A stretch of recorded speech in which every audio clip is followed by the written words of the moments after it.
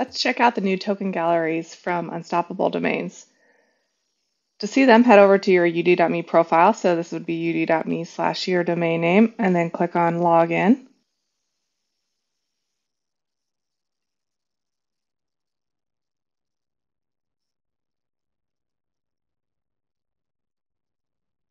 Once you're logged in, you'll see Edit Profile and a new area called Showcase Your Domain. Click Configure. Here's where you'll select which blockchains you want to pull your assets from. These are automatically generated based on the cryptocurrency addresses that you've entered within your domain profile section. So as you can see, I've got a couple that are verified. If you enter one in and it's not verified, it's not going to work. We want to verify ownership. All right, coming over here, I'll hit save.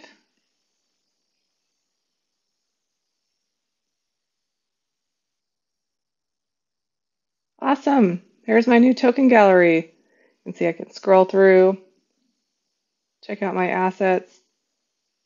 I can open them to view more information. I can show them all on a single page. I can even filter by Web3 domains or tickets. So here's one of my subdomains. Let's say I didn't want to show one of my assets. So let's find something on here not to show. How about this? Dusky. When I hit hide, I now see an option to confirm. So saving.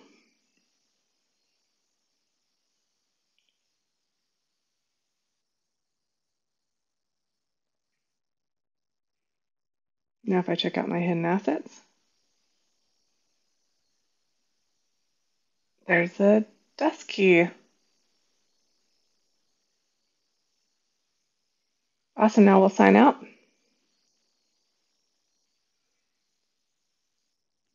And this is what my token gallery looks like to other people that are viewing my profile.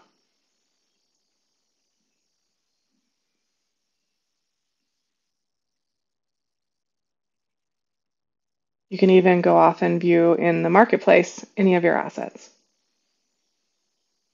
Thanks for watching. We look forward to your feedback and let us know what else you want to see within the token gallery.